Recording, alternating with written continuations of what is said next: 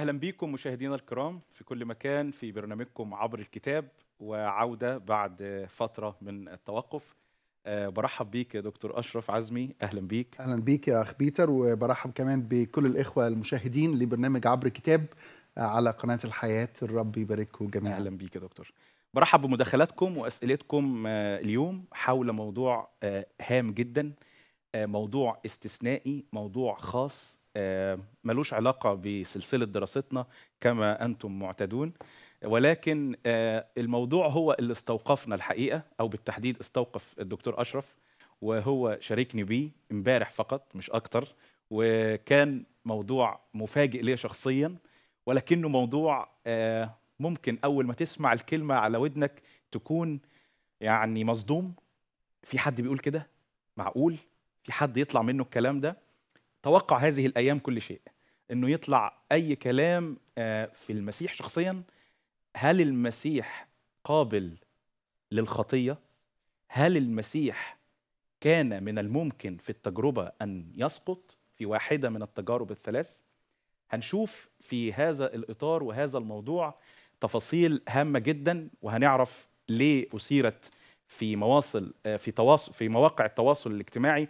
كل ال ال النقاشات ال- الحادة جدا ومن ما بين مؤيد ومعارض وما بين صفحات لكنائس وصفحات لأشخاص مشهورين وناس مصدومة ناس معترضة ناس مؤيدة. اختلافات كثيرة جدا ووجهات نظر كتابية وأخرى شخصية. إحنا الحقيقة النهارده مش بصدد أشخاص بعينهم إحنا بنقدم كل الحب وكل الاحترام وكل التقدير لكل من آه، يطرح أي قضية حتى إن كانت قضية آه، شائكة وليست كتابية وليست لها سند كتابي وصادمة لنا فنحن نحترم. ولكن إحنا النهارده بصدد إن إحنا نقدم آه، من وجهة نظر كتابية بحتة ما هو حق من كلمة الله التي هي أثبت إن انتبهنا إليها. مش هطول أكتر من كده عليكم علشان نروح مع الدكتور أشرف عزمي نعرف آه، إيه حكاية الموضوع المثار حاليا على مواقع التواصل الاجتماعي؟ آه، الموضوع هو سؤال.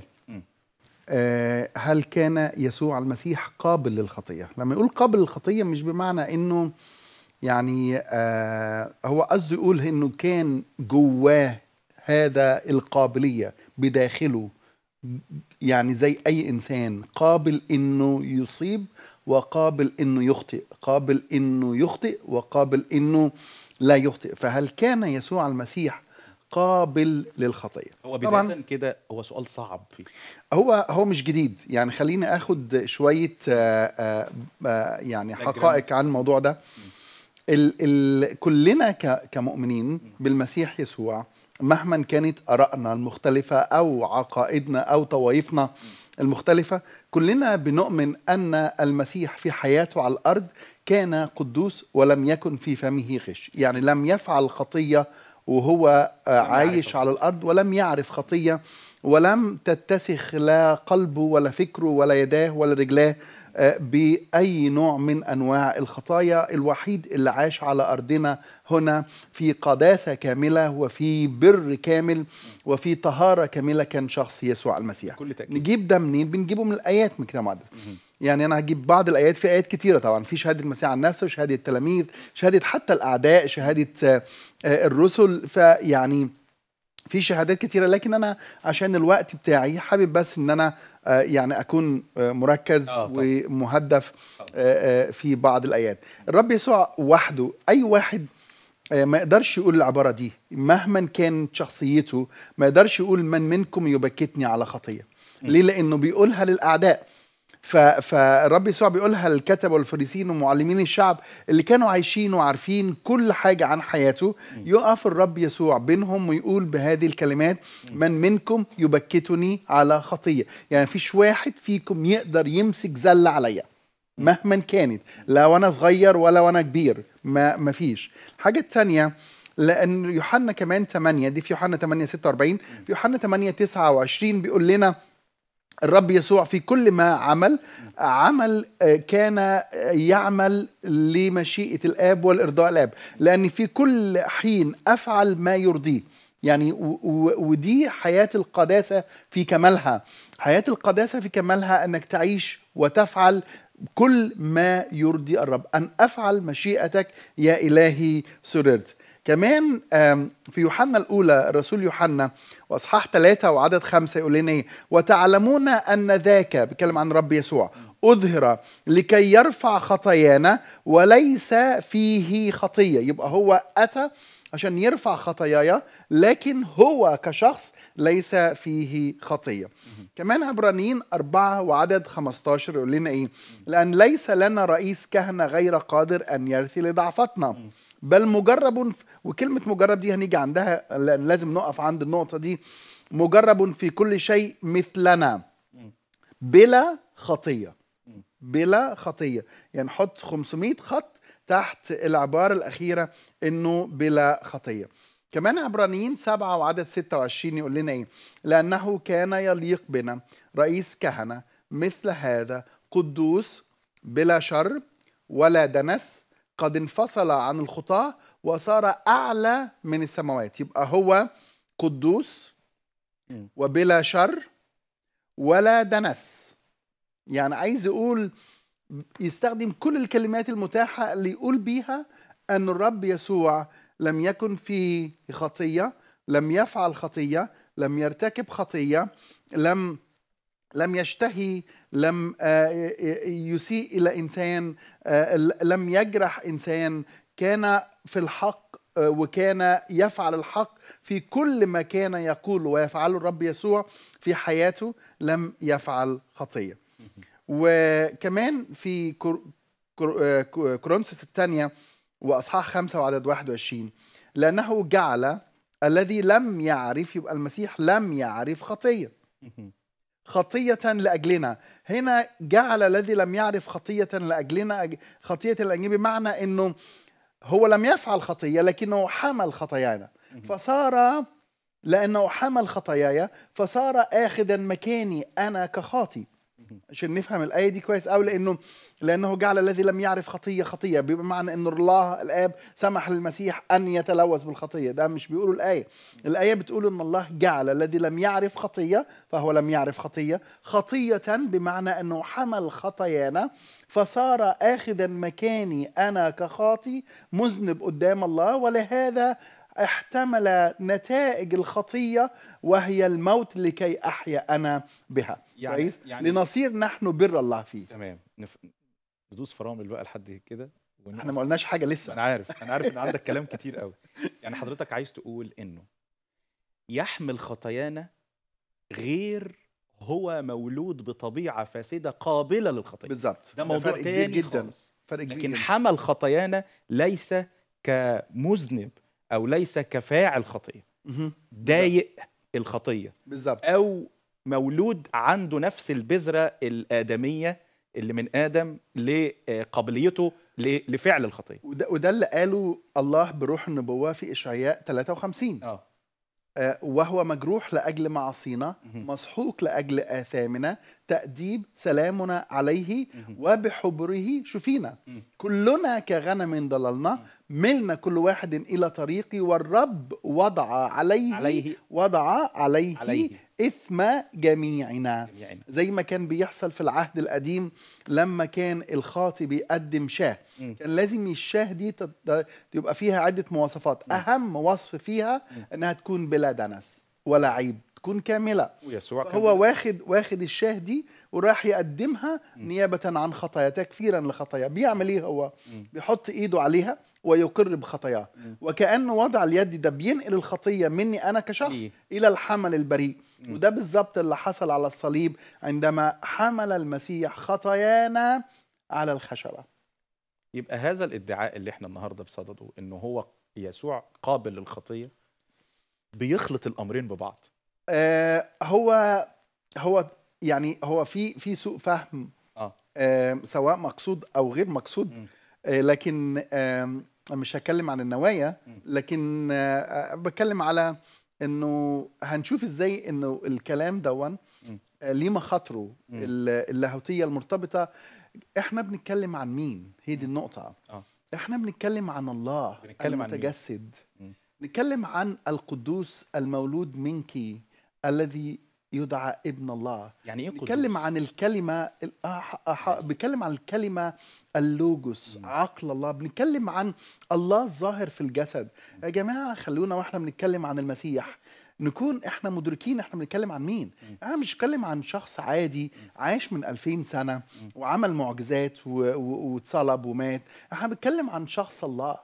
يعني و- فلابد إن يكون كلامنا محسوب وكلامنا فيه احترام.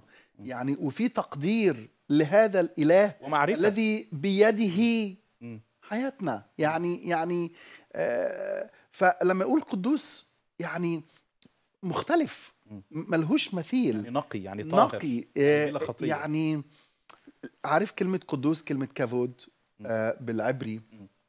آه sorry ما קדוש. قدوس קדוש קדוש. الشيء المميز الشيء المخصص الشيء اللي ملهوش ما فيهوش آه، آه، مفرز. ما فيهوش أي عيوب كويس. فإحنا بنتكلم عن شخص المسيح. عشان كده لما هتكلم يقول عنه أشعياء أيضا لم يعمل ظلما ولم يكن في فمه غش. يعني في كل حياته اللي عاشها على الأرض. فدي القاعدة العامة اللي كلنا بنتفق عليها. ما أعتقدش واحد مسيحي ما بيتفقش على القاعدة دي. اللي هي أكيد. بننطلق منها. خلينا أكيد. ننطلق من القاعدة دي. أكيد. القاعدة الأساسية كلنا نتفق من خلال قرايتنا لكلمة الله أكيد. وقبولنا لسلطان كلمة الله أنه بلا خطيه أن المسيح في حياته على الأرض التي عاشها كلها لم يصنع خطية واحدة. طب إيه الدليل على كده؟ مش بس الآيات. أقول بعض الحاجات التانية. اتفضل. المسيح في حياته لم يصلي طالبا الغفران لنفسه ولا مرة. حتى لما نقرا يعني الصلاة الربانية هو علمنا كيف نصلي. مم. ولما يقول اغفر لنا ذنوبنا هو بيعلمنا هو مش بيتكلم عن نفسه. مم. المسيح دي مش صلاة بيصليها هو. لا ده بيعلمنا بيصليها بيعلمنا كيف نصلي. فلما يقول اغفر لنا ذنوبنا كما نغفر نحن أيضا كويس هو لا يضع نفسه في ال- المجموع هنا. كمان في كل صلاته لم نرى يسوع يطلب ولا مرة واحدة غفرانا لنفسه. حاجة تانية. لم يصلي معترفا بخطية. نهائي. يعني لما نقرأ عن كل ال- كل الأنبياء الله رجال الله من القديم إلى ال- ال- الحديث نجد إنه كلهم الجميع زاغوا وفسدوا ليس من يعمل صلاحا ليس ولا واحد. لكن المسيح لم يصلي في حياته معترفا بخطية. المسيح أكمل في حياته كل بر. الوحيد الذي أكمل في حياته كل بر بر الناموس الرب يسوع عمله تممه كل دوا رائع. أجي بقى لسؤال هل كان بقى المسيح قابل للخطيه طب ال- العقيدة دي آه اتفضل. آه العقيدة دي بيسموها بال في في علم اللاهوت آم، قابلية المسيح للخطيه بيسموها peccability يعني he's able he's قادر إنه يخطئ. أو عدم قابليته بنسميها impeccability كويس. فإحنا نؤمن بال impeccability بالعدم القابلية. المسيح للخطية. هل كان المسيح قابل للخطيه كويس. الكنيسة من أول نشأتها كويس لما نقرأ من سفر أعمال الرسل وكل كتابات الآباء وني ونوصل إيه في لحد القرن ال 19 يبقى من القرن الأولاني للقرن ال 19 كان في مبدئين أو ع- آه، عنصرين مهمين جدا في الحديث عن الرب يسوع آه، بنجده في آه، تاريخ الكنيسة كله. الكنيسة أول حاجة آمنت أه بأنه المسيح زي ما قلت في حياته حياته كانت خاليه من كل خطية. لم يفعل أي خطية فعلية في حياته لا بالفكر ولا بالإرادة ولا بالفعل ولا بأي شيء. المسيح كان قدوس و و وظل قدوس وبلا بلا خطية. كويس؟ الحقيقة الثانية بقى المسيح لم يرث الطبيعة الخاطئة. ده إيمان الكنيسة زي ما قلت لحد القرن ال 19 كويس؟ المسيح المسيح لم يرث الطبيعة الخاطئة فهو من الداخل عشان آه، آه، أغسطينوس قال عبارة نحن نخطئ يعني لأننا خطاة من الداخل. يعني ما نفعله لا يجعلنا خطاة. نحن نخطئ لأننا من الداخل خطاة. طب الخطية منبعها جوة. فالمسيح لم يرث الطبيعة الخاطئة. المسيح من الداخل كان قدوس وبار وطاهر. كويس؟ نحن نخطئ لأننا خطاة أما المسيح فلم يخطئ لأنه قدوس لم يرث الطبيعة الفاسدة. وعشان كده تجربة المسيح تختلف عن تجربتنا. كاملة يعني نتكلم عن النقطة دي. فالنقطتين دول مهمين. النقطة الأولانية إنه المسيح آه، آه، في حياته لم يفعل خطية. والنقطة الثانية إن المسيح لم يرث الطبيعة الخاطئة عندما أتى إلى عالمنا. ونتكلم عنها بالتفصيل لما نتكلم عن الميلاد العذراوي ونشوف النقطة دي. بس أنا حبيت أقول التاريخ بيعمل إيه؟ التاريخ ماشي إزاي؟ لأنه يعني آه، في مقولة زي كده آه، ناخدها ونحللها تاريخيا وعلى مدار التاريخ إزاي آه، بدأت منين ونشوف الابلكيشنز بتاعتها. لما نيجي لنقطة تانية بقى مع بداية القرن التاسع عشر إحنا مع بداية القرن التاسع عشر جالنا كل حاجة يعني كل أنواع النقد كويس؟ وكل أنواع الطعن حتى في شخصية المسيح. حتى لما بندرس عن البحث عن تاريخية المسيح والمسيح التاريخي كله بيبدأ من 19. القرن ال 19 لما نبدأ هنا نقول إيه؟ أول أول تحدي للعقيدة دي. كان سنة آه، آه، آه، 1833 كان في لاهوتي اسكتلندي اسمه إدوارد ايرفينج وهو كان واعظ معروف. وإدوارد في وعظه ابتدى ينادي بإنه المسيح أخذ طبيعتنا الساقطة. كويس ده كان أول يعني إشارة إلى إلى آه. إلى آه أن المسيح قبل الخطية. وكتب وقال فجسد المسيح مثل جسدي. الفاسد والساقط قابل لكل أنواع الشرور والتجارب لكنه لم يفعل خطية. فده ده يعني إيه؟ فبالتالي جسد المسيح ها آه بالنسبة للفكر ده كان قابل لإيه؟ للخطية. الكنيسة آه في اسكتلندا فصلت خدت قرار بفصل مين؟ إدوارد. واعتبرت تعليمه ليس تعليم آه، ريفورم أو تعليم مصلحة وتم فصله من من الكنيسة. وظلت التعليم آه، ضد ما ينادي به إدوارد إيرفينج لمدة 100 سنة. لحد لما جه لاهوتي معروف قوي سويسري اسمه كارل بارت طبعا معروف في مصر. مم. وناس كتيرة بتقرأ له وناس كتيرة بتتعلم بيقول إيه. آه كارل بارت آه، اللاهوت بتاعه ليس هو liberal مش م... يعني مش ليبرالي متحرر وليس هو محافظ. يعني يعني عشان كده أطلق عليه neo orthodox يعني الأرثوذكسية الحديثة. ال ال الاستقامة الحديثة يعني خليني أترجم. آه كارل بارت ليه مجلدات كبيرة قوي.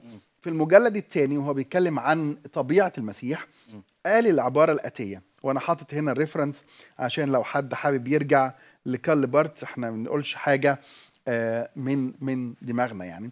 في كارل بارت Church Dogmatics في ال volume الثاني وصفحة 153 إلى 154 بيقول إيه؟ بيقول الطبيعة التي افترضها الله أن تكون للمسيح طبيعة يعني التي افترض الله أن تكون للمسيح هي مثل طبيعتنا كما نراها نحن في ضوء السقوط. يعني هي الطبيعة بتاعتي وبتاعتك اللي إحنا بنشوفها في ضوء السقوط اللي هي تلوثت اللي هي ساقطة. حتى يكون المسيح مشابها لنا في كل شيء. يعني ما ينفعش المسيح يكون مشابه لنا في كل شيء إلا إذا أخذ إنسانيتنا ساقطة. ده ده فكر كارل بارت كويس؟ ولأن كارل بارت كان ليه وزنه وزنه وثقله في آه، آه، في اللاهوت. فالفكر ده انتشر. وبعدين زيه وصل زي اللي قبله اللي حضرتك لسه آه ما هو نفس نفس فكر المدرسة يعني. إدوارد آه، yes وطبعا وصل إلى جامعة برينستون. دي جامعة برضو يعني معروفة. وبعض اللاهوتيين في جامعة برينستون في بداية القرن العشرين بدأوا ينادوا بهذا الفكر. وبدأ هذا الفكر إيه؟ ينتشر فعايز أقول انه اللي قال العبارة اللي كتب العبارة انه إن لم يكن المسيح آه، قابل للخطيه آه، آه، تبقى تجربة تمثيلية ده مش فكره ده ده ده أساسا موجود وموجود بكثرة عند خلينا أقول المشيخيين مش بس ال- الليبرالز لكن كمان عدد عدد آخر من اللاهوتيين. هل آه، يعني قبل ما حضرتك تكمل يعني هل من يتبنى هذا الفكر ومن يطرحه بيخدم أكتر بهذا الكلام إنسانية المسيح وبيؤكد أكتر وأكتر أنه كان إنسانا بكل ما كانت تحمل الكلمة من معنى فعلا وأنه إنسانا مثلنا حتى الطبيعة الساقطة خدها. هم عايزين يعني يوصلوا لده؟ آه، ده هياخدني إلى سؤال آخر مهم. مم. على أي أساس بنوا هذا الفكر؟ هذا المعتقد. ما أنتوا ما أنا عشان أبني معتقد معين. لو أنا مثلا هتبنى أنا أقصد ده الغرض. ما أنا عارف. ما أنا آه أنا هقول لك. لو أنا هتبنى مثلا هتبنى إنه المسيح لم يكن قابل للخطية. وده إيماني أنا الشخصي إنه لم يكن قابل للخطية. فأنا على أي أساس بنيت هذا المعتقد بنيت هذا الإيمان. أو هاخد العكس مثلا اللي بياخد العكس إنه بيؤمن إنه المسيح كان قابل للخطيه طب على أي أساس بنى هذا المعتقد؟ منها الجزء المهم اللي أنت بتقوله ده إنسانية المسيح. يعني في ثلاث في ثلاث أسس آه، آه، بني عليها الاعتقاد آه، عند البعض بأن المسيح كان قابل للخطية. وإحنا ممكن ناخدهم واحدة واحدة.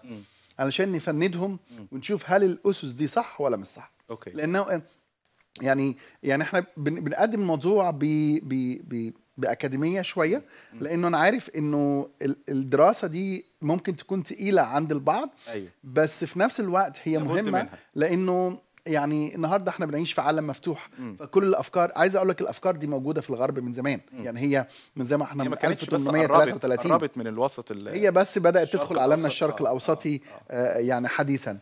فعلى أي أساس بنى أصحاب الفكر أن المسيح قابل للخطية. كويس؟ وهل هذه الأسس صح ولا مش صح؟ دي أول حاجة. ال- الأول أساس بنوا عليه فكرة أن المسيح قابل للخطية هي تجربة المسيح. كويس واتقالت بنفس اللفظ. إن لم يكن المسيح قابل للخطية لكانت التجربة تمثيلية. تجربة على الجبل. تجربة على الجبل. كويس.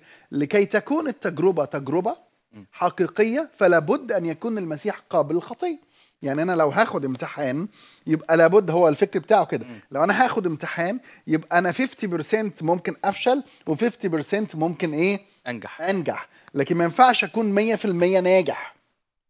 ده منطق مغلوط. يعني ما, هنتكلم ما عنه. ينفعش أجيب دكتور المادة اللي واضع الامتحان اللي هو بي- بيدرس المادة وأحط له ورقة آه، أسئلة.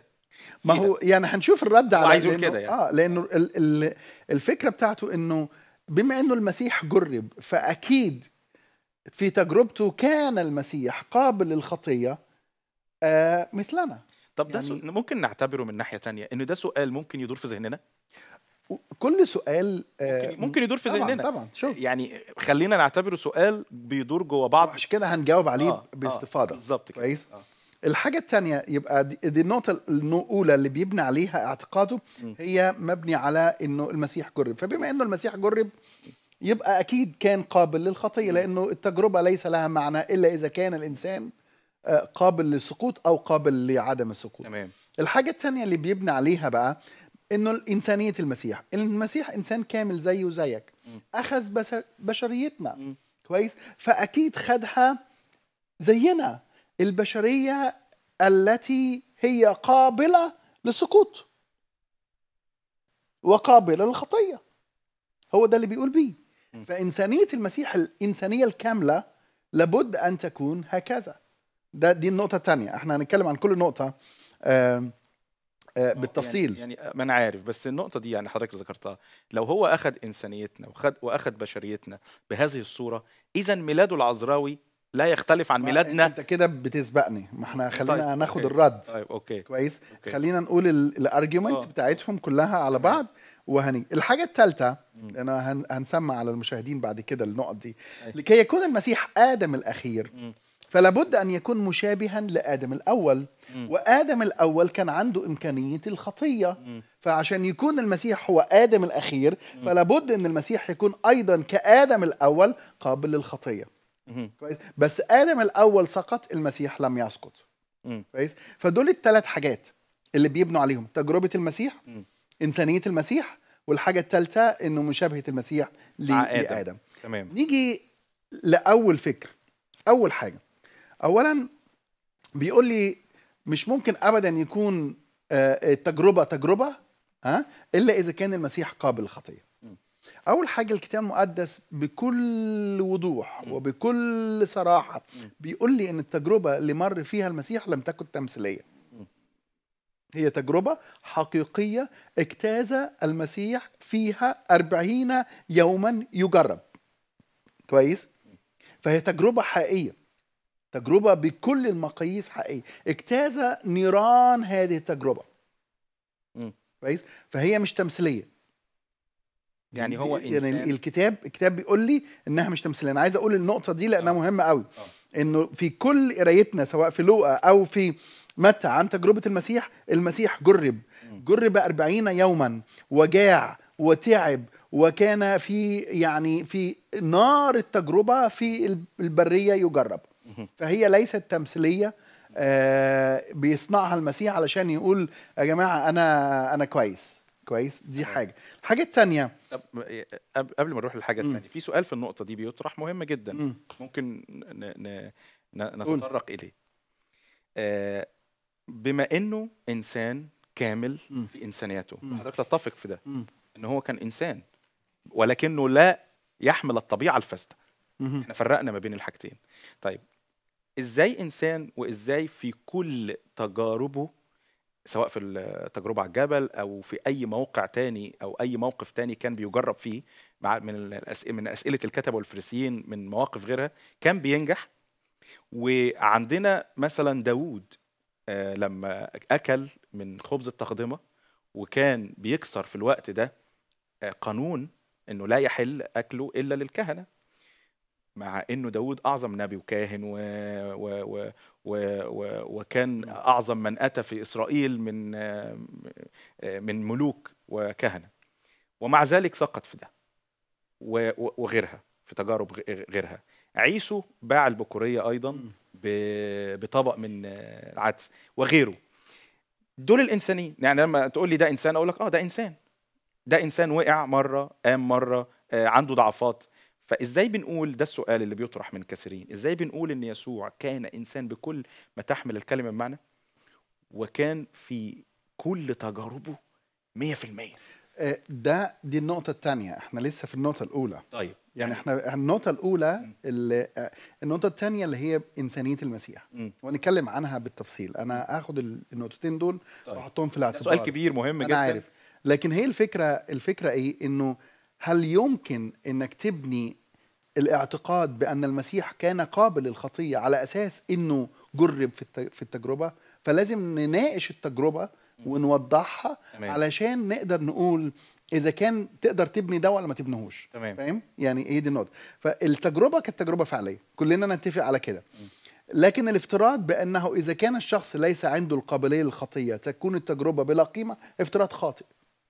افتراض خاطئ. ما تقدرش تربط دي بدي. يعني وهقول الاسباب الكلمة اليونانية المترجمة يجرب أو تجربة لا تعني إمكانية الصواب والخطأ لكنها تعني أن يبرهن. إنه تو بروف. فأنا أنا داخل الامتحان أنا مذاكر 100% أنا عارف المادة كلها بتاعتي أنا داخل أجيب 100% طب إيه اللي يخليني أبرهن على إني أنا شاطر؟ إنه أجيب 100% كويس؟ لا تعني ابدا إن أنا أجيب 50 أو إن أنا أفشل. فلما المسيح دخل التجربة التجربة دي هو مقاد من الروح القدس. ما كانش بس التجربة لا ده قيدة من الروح القدس. وراح التجربة لكي يثبت للعالم كله للبشرية وللتلاميذ أنه هو القدوس البار المولود منك. ابن الله اللي قال عنه الملاك. كويس؟ فكي يبرهن هذا اجتاز المسيح في التجربة والتجارب اللي مر فيها المسيح ليست تجارب أنا وأنت بنمر بيها. دي تجارب مبنية على لاهوته لكنه حاربها وانتصر عليها بناسوته كويس؟ يعني يعني يعني أنا وأنت ما, ما, دخلناش في تجربة وقال لنا إبليس لو كنت أنت ابن الله. أنا مش ابن الله. وما قاليش حول الحجارة إلى إلى خبز. كل تجربة من تجارب المسيح دي ليها غرض وليها هدف. لاهوتي مهم جدا. كويس؟ يعني يعني اتفضل. أنا هكمل النقطة دي بس. خلينا أكملها. و... فالكلمة اليوناني المترجمة يجرب لا تعني إنك تنجح أو تسقط. مم. تعني إن أنت تثبت جدارتك. وتبرهن أنك قادر على وتبرهن على أنك قادر. طيب هل هو كان بيواجه التجربة بإنسانيته؟ حضرتك لسه قايل بإنسانيته. Yeah. فقط المسيح كان عنده استعداد كان عنده يعني آه، قدرة إنه يستخدم لاهوته لتحقيق كل الأشياء اللي قال عليها إبليس. صح ولا لأ؟ لأنه تحويل الخبز إلى الحجارة إلى خبز ده محتاج لاهوت مش ناسوت. اذا ثواني آه، كويس. إنه إنه لأ ان إنه إزاي في التجربة أوكي إن كنت ابن الله فقل لهذه الحجارة أن تصير خبزا. خلي بالك من نقطة. مهم قوي إنك نفهم النقطة دي. ليه؟ لأنه هنا المسيح عنده احتياج جسدي. كويس؟ هذا الاحتياج الجسد هل هيستخدم قدرته الإلهية ولاهوته لمصالحه الشخصية ويسدد احتياجه الشخصي ولا لأ؟ ولا هيعتمد على الله الآب. هي دي النقطة هي دي التجربة. كويس؟ فالتجربة إنه استخدم لاهوتك برهن ليا على لاهوتك وسدد احتياجك الجسدي بإنك تستخدم لاهوتك لتحقيق أغراضك الشخصية. بس هو في النهاية استخدم لاهوته. فين؟ في ما حولش ال- الحجارة إلى خبز. في في في في, في غلبة ال- الغلبه الغلبة كان ال ال ال في غيره ما. قدرش وجاع وكل زي ما لسه قايل. شوف يعني في في في يعني زي يوسف مثلا ما تقدرش مثلا يوسف انتصر على التجربة. آه. مع إنه التجربة كانت شديدة بالنسبة ليوسف. لكن عن كان عنده القدرة وكان عنده مخافة الله وكان عنده روح الله اللي أعطاه إنه ينتصر على التجربة. تمام. كويس؟ فتجارب المسيح ليست كتجارب أي شخص. تجارب المسيح ليها أغراض لاهوتية وليست تجارب عادية. أنا ولا انت عمرنا ما هنمر بالتجارب دي. دي تجارب المسيح حاجة خاصة بالمسيح. لكي يثبت إنه فعلا المخلص الذي يستحق أن يكون مخلص للعالم من خلال هذه التجارب. عشان كده لو رحنا إلى الجزء الثاني إنه الشخص يجرب بالخطية لا تعني أنه قابل للخطية. يعني إنه إنه إبليس يأتي يجربك. إحنا بنجرب منين؟ من جوه. هل المسيح جرب من جوه؟ لا. ولا جرب منين؟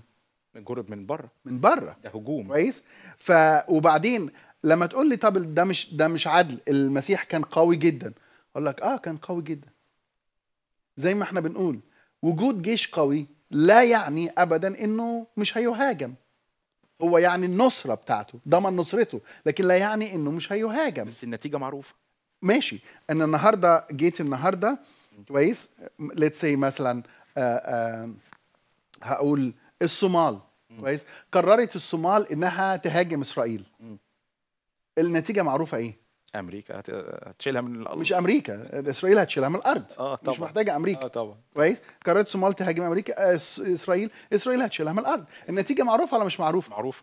طب بس هل ده منع إن الصومال تهاجم أم... تهاجم آه إسرائيل؟ ما منعش. ما منعش بس أنا ما؟ فاجئنيش. لكن ما هو ما يفاجئكش أنت بس أكد إيه؟ أكد حاجة تانية. مم. إحنا كمصريين ما كناش نعرف قوة إسرائيل. مم. الحرب هي اللي برهنت على قوة إسرائيل. الحروب اللي دخلناها ها. من من من 53 برهنت على قوة لحد 67 برهنت على قوة إسرائيل. لما إحنا لما ما كناش استعرضت. نعرف. بالظبط. خدها بنفس الفك الفكر. إنه تجارب الم- المسيح أثبتت قدرة المسيح على إنه في وسط نار التجربة كان قدوس وبار ولم يفعل خطية لأجل هذا استحق المسيح أن يكون المخلص الذي يخلص العالم من سطوة الخطية. كويس؟ إن بس أنت بقى تربط إنه لابد إنه يكون قابل للخطية علشان يبقى في تجربة ده ارتباط غلط. ده أساسا فكر مبني على مبدأ غلط. عدم قابلية المسيح. كمان يقولوا إيه؟ لو المسيح مش قابل للخطية يبقى أكيد بقى المسيح إزاي هيرسل ضعفاتنا؟ مم. ما هو لازم يعني هو لازم يكون مجرب في كل شيء مثلنا علشان يقدر يرثي لضعفاتنا ده, ده المبدأ اللي بيتقال. وفي حاجة تانية إزاي مجرب وهو لا يجرب ولا يجرب؟ إيه- آه، آه، كويس. دي نقطة برضو. عدم قابلية المسيح للخطية. لا تتعارض مع كونه رئيس كهنة يرثي لضعفاتنا. ما تتعارضش. إزاي؟ أنا أرثي لضعفات شخص يعني مثلا let's see هقول مثلا من الامثله آه عندنا في مصر واحد مشهور قوي الدكتور إيهاب الخراط. آه، الدكتور إيهاب الخراط مشهور في علاج الإدمان صح؟ مم. وعنده مصحة واتنين والرب مباركه في هذا المجال. مم. هل هو يرثي لضعفات المدمن ولا ما بيرثيش لضعفات المدمن؟ أكيد. هل هو بقى هل هو لازم يبقى مدمن علشان يرثي لضعفات المدمن؟ لا طبعا. فهل المسيح لازم إنه يبقى خاطي عشان يرثي لضعفات الخاطي؟ لازم يبقى قابل للخطية علشان يقدر يرثي لضعفات الخطاة؟ لازم يكون داء يعني؟ مش لازم. مش لازم يدوق. فدي ده, ده, ده فكر غلط اللي بيقول كده. فالمسيح قادر أن يرثي ضعفاتنا وقادر أن يكون رئيس كهنة لنا وهو أيضا مجرب, في كل شيء بمعنى أنه اجتاز في آلام الإنسان واحتياجات الإنسان وجرب هذه الأشياء لكنه ليس بلا خطية لم يخطئ. لم يخطئ. يعني عشان كده المسيح مر ال ال يكفي أنه تألم مجربا. لكي يكون معينا للمجربين. لكن مش لازم يكون آه، سوري يعني في اللفظ لأنه المسيح آه، آه، أنا سرقت فهو لازم عشان يعرف مشاعري لازم هو يسرق. ولا لأنه المسيح أنا كذبت يبقى عشان هو يعرف أنا بمر بإيه لازم هو يكذب. ده إحنا بنتكلم على القدوس البار. هو يعلم يعلم نتائج الخطيه بالظبط زي ما خلينا أقولها. لو لو لو واحد جاله cancer مثلا في ال في ال في الكبد وكده وراح عند أخصائي كبد. دكتور specialist كل دراسته وحياته هي عن إيه عن هذا الموضوع كويس هو يعلم كل شيء. يعلم الألم ويعلم مدى مدى الألم ويعلم مدى الخطر ويعلم مدى الدمار اللي حصل في. في, ال... في الكبد ويعلم يمكن يعلم حتى كمان فاضل له كام يوم ويعيش ولا فاضل له كام يوم ويموت يعني يعني يعلم كل ده هل هو علم- يعلم كل هذه المعرفة لا تحتاج منه إن هو يكون مريض بال... بالكانسر عشان يبقى عارفها هل علمه بالمرض وبشاعته. وأوجاعه وكل ما حضرتك ذكرته يتساوى ويتسا و... و... و... بنفس الكم وبنفس ال... ال... ال... الدرجة بتاعة اللداء كويس. في حاجتين. في في ألم ناتج عن الخطية وفي ألم ناتج عن البر. المسيح اجتاز كل ألم انواع ناتج عن. الظروف. آه والمسيح اجتاز كل أنواع الألم الناتجة عن البر. مم. بمعنى إيه؟ إنه هو المسيح اضطهد. رفض. قيل عليه كلمات شريرة في الآخر حمل خطايانا على الصليب حمل الخطايانا على الصليب إنه يصير القدوس أجعل الذي لم يعرف خطية خطية من أجلنا تعرف دي معناها إيه؟ تعرف مدى الألم اللي مر فيه المسيح وهو على الصليب من أجلنا من أجل العالم كله شكله إيه؟ كويس؟ لكن المسيح لم يخطئ لم يخطئ هي دي النقطة ولم يكن في داخله قابلية للخطية. كان قدوس. هو قال بصريح العبارة من منكم يبكتني على خطية؟ فالألم آه بالظبط. والألم الناتج عن التجربة هو جزء من اتضاع المسيح. فالشخص المجرب دايما مهما كانت التجربة الشخص المجرب هو مش شخص متألم. هو شخص كده فيما هو قد تألم. مجرب. المسيح كمان في خضوعه في التجربة في التجربة ترك لنا مثالا. مش بس التجربة كان هدفها برهانة على من هو المسيح لكن أيضا يترك لنا مثالا يقول ناظرين إلى رئيس الإيمان ومكمل يسوع الذي من أجل السرور الموضوع أمامه. احتمل الصليب مستهينا بالخزي فجلس في يمين عرش الله فتفكروا في الذي احتمل من الخطاة مقاومة لنفسه مثل هذه لئلا تك- تكلوا وتخوروا في نفوسكم. الآية دي معاناة المسيح وتجربة المسيح كانت سبب بركة لقديسين كتير عندما وضعوا بين اختيار إما أنك تعبد القيصر أو أن أنت تموت اختاروا الموت. لأنهم تتبعوا المسيح. كويس؟ في في تجربته.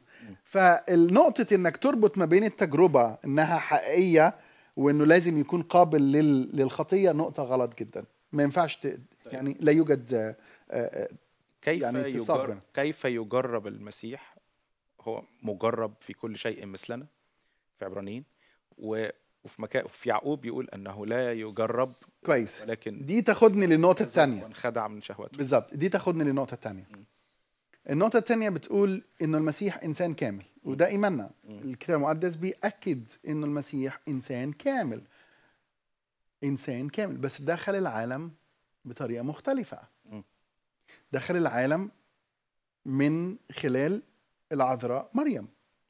كان لابد أن يولد بطريقة خارج دائرة آدم لأن كل ما ولد من آدم ولد مشوه بالخطية. فكان المسيح لابد أن يكسر هذه الدائرة ويولد من خارج دائرة آدم. كويس؟ لأنه لأنه كل اللي جم من آدم في على شبه آدم. العهد القديم من أول آدم لحد بمرورا بموسى وعظمة الأسامي الكبيرة جدا اللي جت في التاريخ. مم. محدش عارف يعمل حاجة مع بالظبط. البشرية. وجم لأنه فشل يعني. جم على شبه آدم فآدم بينتج أولاد على شبهه. لكن المسيح لم يكن على شبه آدم هو آدم الأخير. لكنه ليس شبه ليس آه، ابن آدم. كويس؟ عشان كده الآية المفتاحية لفهمنا لطبيعة المسيح الجسدية. يقول كده إنه الكلمة الأزلي لم يأخذ الطبيعة الساقطة. على فكرة لما نقول أن المسيح أخذ طبيعتنا. طب إحنا طبيعتنا ساقطة. فهل المسيح و- ولأننا ط- أخ- إحنا طبيعة ساقطة نحن نخطئ. فهل المسيح الساقطة؟ و- و- وصار في نظر الله ساقط ومحكوم عليه أيضا بأنه ساقط مثلي ومثلك؟ عشان كده الآية المفتاحية لفهم ناسوت المسيح و- وحياة المسيح على الأرض الآية اللي موجودة في لوقا 1 35 بتقول مم. الروح القدس يحل عليك. على عذراء مطوبة مريم وقوة العلي تظللك. فلذلك القدوس المولود منك يدعى ابن الله هنا اتكسرت إيه اتكسرت الدايرة بتاعت آدم وجاء مخلص خارج دائرة آدم. هو آه كامل في إنسانيته لكنه خارج دائرة آدم. أتى لأن الروح القدس يحل عليك وقوة العلي تظللك. هنا اتحد اللاهوت بالناسوت. فوجد لنا شخص كامل إله حق وإنسان كامل حق. ليس له مثيل. إنسان كامل. إنسان كامل. لكنه لكنه بلا خطية ولم يأخذ الطبيعة الخاطئة الساقطة التي أنا وأنت قد ورثناها. يعني هو ده الفرق الوحيد اللي حضرتك ذكرته ما بين إنسانيتنا وإنسانيته؟ دي حاجة. كمان في حاجة تانية. امتزاج اللاهوت بالناسوت. دي حاجة تاني. الامتزاج ده أنتج لنا شخص يسوع المسيح. ده ليس لا يوجد مثيل زيه مفيش حد زيه. أوجد لنا شخص فريد شخص كلي القدرة وشخص كلي المعرفة وشخص كلي السلطان وشخص كلي ال- القداسة. كويس؟ وشخص إنسان كامل ينوب عني. له الحق أن ينوب عني أنا لأنه ن- إنسان. مثلي. لكنه في نفس الوقت هو الكلمة المتجسد. الله الظاهر في الجسد. كويس؟ وده دي الحقيقة دي مهمة جدا. عدم قابلية المسيح بقى للخطية تعتمد على طبيعة شخصه. لما إحنا بنتكلم عن المسيح غير قابل للخطية أنا على طول بروح إلى شخص المسيح الفريد. فالمسيح ليس مجرد إنسان. لو المسيح كان فقط إنسان لكان قابلا للخطية. أقولها تاني لو المسيح كان فقط إنسان لكان قابلا للخطية كان يبقى زيه بالظبط زي آدم القابل للخطية. لكن المسيح هو إله حق وإنسان كامل. امتزاج الطبيعتين دول معا الطبيعة الإلهية والطبيعة الإنسانية جعل المسيح كلي القداسة وكلي الطهارة ولا يخطئ ولا يخطئ لأن الله غير مجرب بالشرور هو لا يجرب بالشرور وهو لا يجرب أحد بالشرور. كويس؟ يعقوب 1 13 أوكي. فالله لا يكذب. لأجل هذا المسيح لا يكذب. الله لا يندم. لأجل هذا المسيح لا يندم. الله لا يشتهي السوء. لأجل هذا لا يشتهي المسيح السوء. إنسان كامل وإله كامل. اتحد اللاهوت بالناسوت بلا انفصال. في كل مواقفه كان بلا انفصال. طيب يعني أنا ممكن دلوقتي واحد مثلا يعني قاعد بيتفرج علينا يقول مثلا طب أنتوا أنا مش فاهمكم كان إنسان كامل ولا كان إنسان مش كامل؟ ما هو لو إنسان كامل ومجرب في كل شيء مثلنا هيبقى زينا. كويس. لما أقول إنسان كامل ومجرب في كل شيء كل ما- تانية بتقول إنه اللاهوت الذي امتزج مع الناسوت هو من أعطاه النصرة في كل التجارب على طول الطريق. شوف الحقيقة دي ما نقدرش إيه نفصلها عن بعض. إزاي؟ حقيقة ناسوته مم. وحقيقة لاهوته خليني خليني آخد أنا قدامي 15 minutes. أوكي. خليني آخد آه، ال ال ال ال ليه إحنا بنؤمن إنه غير قابل للخطية. لأنه ده في بعض الإجابة لل السؤال للسؤال بتاعك. أوكي. ليه بقى ليه ليه الإيمان؟ لماذا أؤمن أنا شخصيا. كويس. أن المسيح لم يكن قابلا للخطية.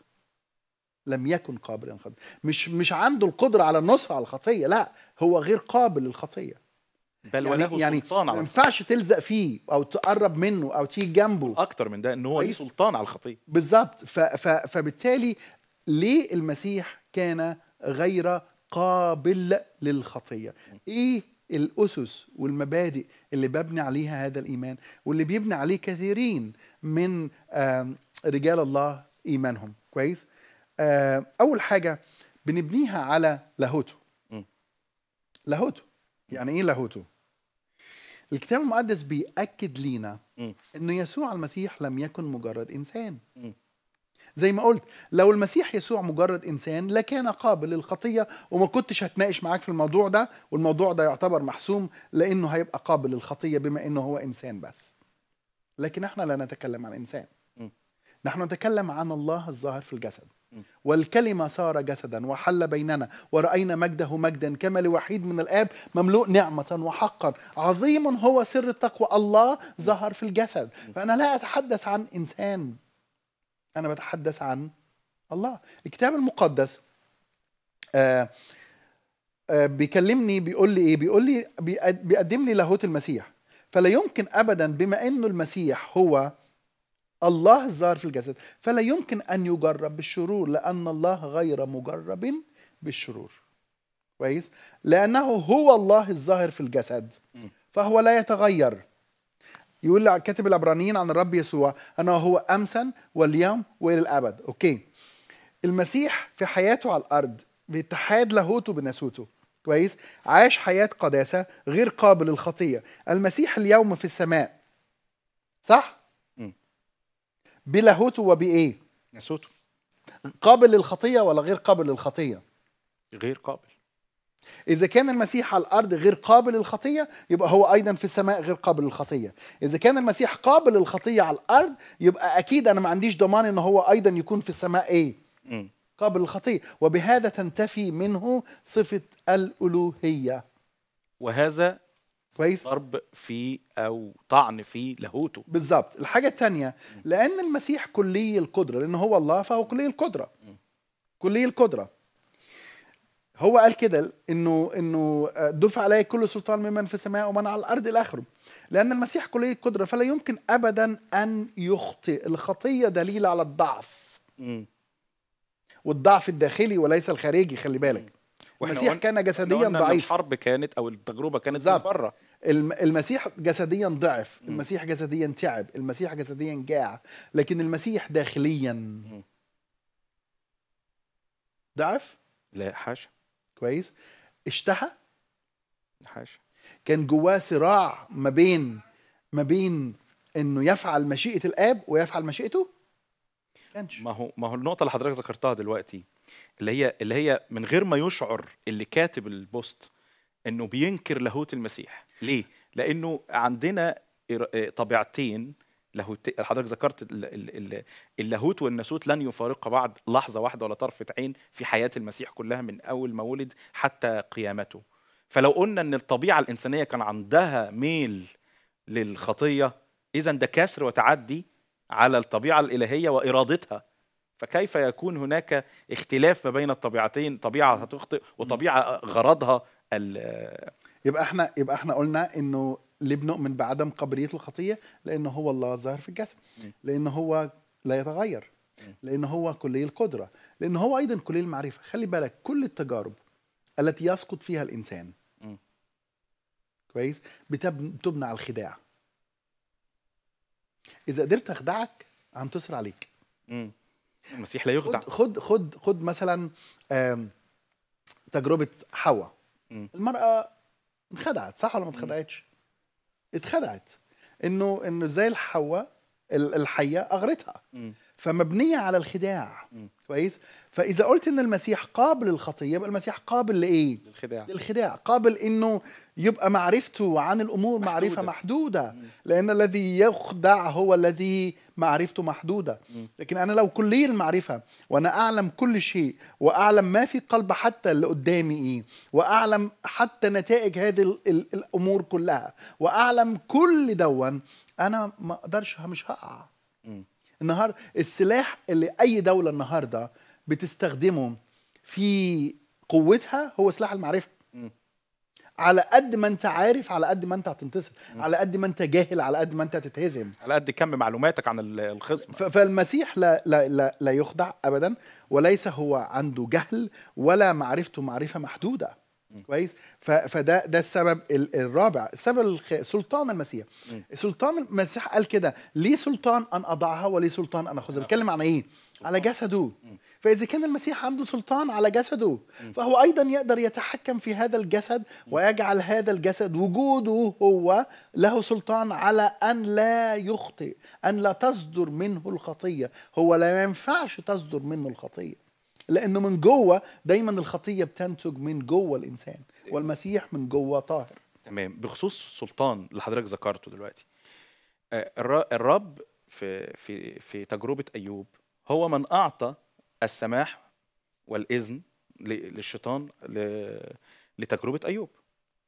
فكيف يعطي لنفسه السماح لتجربة هو شخصيا من قبل أيوب من من قبل آه، آه، إبليس في التجربة على الجبل كما أعطاها ل- كويس. ل- لأيوب لأنه- للتجربة. لأنه كيف يسمح للشيطان بأن يكون له الإرادة الحرة إن هو يدخل في حياته ويجربه بالمنظر ده؟ كويس. آم، لأنه الهدف منها هو البرهنة.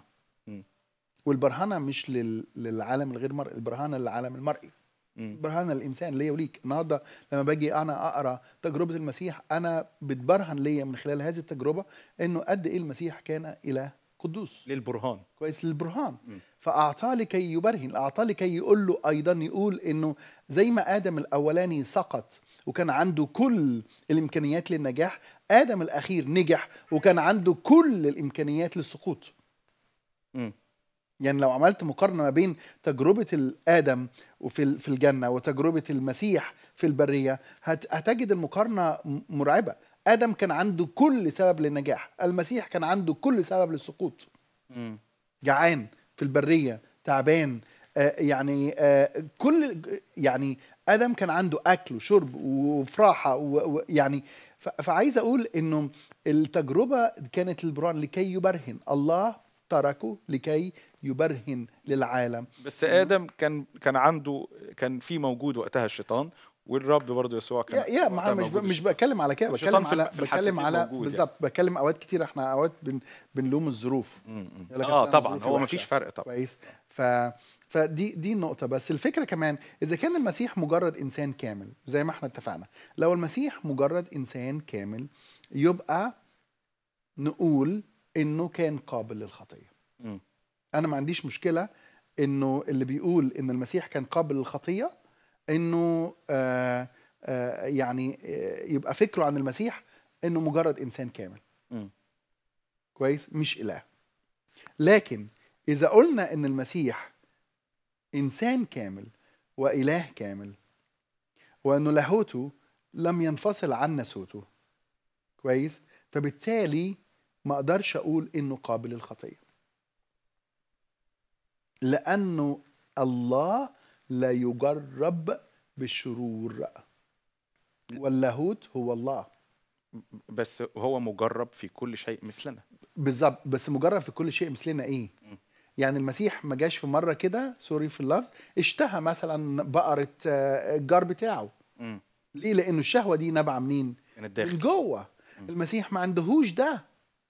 مم. المسيح ممكن يجي حد يقول حاجة وحشة. ممكن تيجي تجربة من بره لكنه مش جوه. إحنا كل تجاربنا بتيجي من جوه. إحنا ليه بنكذب؟ من جوه. ليه بنسرق؟ من جوه. ليه بن بن بن بن بنشهد شهادة زور؟ من جوه. ليه بنقتل؟ ليه بنزني؟ من جوه. لأنه المنبع وحش. آه. فاللي خارج منه وحش. وده اللي قاله رب يسوع. فلكن المسيح مش من جوه. من المسيح لا. تأتي التجربة من داخله. وده فرق كبير جدا ما بين إنسانية المسيح وإنسانيتي أنا. هو يجرب من خارج طيب. from without not from within. دي دي الشماعة اللي البعض بيعلق عليها آه، آه، كل ما يفعله في حياته يقول لك أنا مش المسيح. أنا لا عندي لاهوت ولا جاي من السماء بطريقة عذرويه ومولود بطريقة مختلفة عن البشر بلا زرع بشر. أنا أنا بشر. حتى إن كنت مؤمن أنا ال ال دايما الشماعة دي يعني. سيبك من الشماعة لأن الشماعات دي كتيرة. كويس؟ لكن هو الكتاب قول إيه للنوع ده؟ الكتاب حط لنا كتاب حط لنا مبدأ. إنه المولود من الله لا يخطئ. مش بمعنى لا يخطئ يعني مش يعيش بمعنى إن هو كل إنه حياته- آه لا يعني يعني يعني ما يعيش في الخطيه أن يكره الخطيه بالظبط كويس. حتى إن كان بيقع المولود فيه. من الله لا يخطئ. وبعدين إحنا عندنا روح القدس. وعندنا كلمة الله. وعندنا الطبيعة الجديدة. أي نعم في صراع مع الطبيعة القديمة. لكن لما أتكلم عن المسيح أنا بتكلم عن الإله الكامل الإنسان الكامل والإله الكامل. يعني أنا مش مدعو نفس الدعوة دي؟ حضرتك عايز تقول كده؟ شوف ال ال أنا مش مدعو لا أنا مدعو لحياه القداسة أكون متشبه بالمسيح. آه كويس؟ لكن أنا ما أقدرش إن أنا أقول أنا زي المسيح. ولا هبقى زي. ولا هبقى زي المسيح لكي نكون مشابهين صورة ابنه ده عمل الله فينا لحد لما نوصل للسماء بس في نفس الوقت نفرق ما بين ده وإنه بالظبط. يكون ده استباحة ليا آه لا لا بس ده يعني يعني آه، خلينا نكمل الجزء ده لأنه مهم جدا في حالة أن يخطئ المسيح لو افترضت. يعني همشي مع الإخوة اللي بيقولوا إن المسيح كان قابل للخطيه. لو افترضت بقى إنه المسيح أخطأ فالخطية شوف الجوع العطش التعب ده حاجات إنسانية ليست اللاهوت. كويس إنما لما أجي بقى للخطية اللاهوت والناسوت لو بيشتركوا مع بعض في الخطية فهل إذا أخطأ المسيح يكون بهذا الله قد أخطأ. ويكون بهذا الله ليس إله حق. ويكون بهذا الله مستحيل إنه يكون كلي القداسة. كويس؟ فالنتائج عشان كده أوصل للخاتمة أقول إيه؟ فمن المستحيل أن يكون المسيح قابل للخطية وذلك بسبب الاتحاد التام بين طبيعتيه الإنسانية والإلهية. وعشان كده برجو إنه أي فكر نقراه غربي وأي فكرة جميلة آه كده ما نبقاش بس طيارين بيها وبن بشكرك يا دكتور أشرف آه، على التغطية المفيدة جدا. والمهمة في الوقت ده اللي فتحناها وحسمناها بشكرك جدا. وعايز آه، أختم آه، وأقول كمان إنه كيف لمن قهر الموت الذي هو أقوى وآخر عدو يبطل وأقوى عدو الذي لا يجو يكون له مثيل وليس له مثيل في قوة وبشاعته أن يكون هو الذي قهره وهو الذي غلبه أن يكون له قابلية وأن أن ي- يسقط في خطية ما حاشا لمن له القدرة والقوة والسلطان على الموت ويقول أين غلبتك موت؟ أين شوكتك يا هوية؟ أن يكون تحت خطية ما. بشكركم ونلتقي معكم في حلقة قادمة.